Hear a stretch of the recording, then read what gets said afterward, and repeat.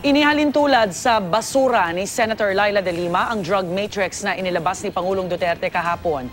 Kinwestiyon din ni De Lima ang pag-uugnay sa kanya kay Representative Amado Espino, gayong siya pangaraw ang nagsampa ng kaso laban dito nung siya ang kalihim ng DOJ.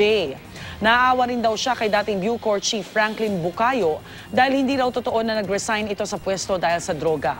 Ang totoo raw ay dahil sa tindi ng problema sa droga sa Bilibid ay mismong ang pamilya ni Bucayo ang humiling na siya'y magbitiw.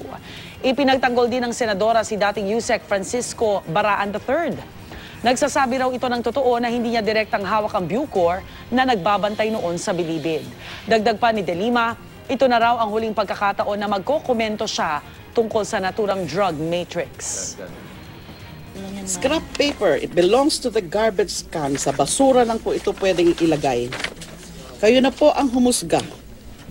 Tingnan na lang po ninyo ang matrix na ginawa nila na miski labindalawang ta- taong gulang na bata ay kayang i-drawing.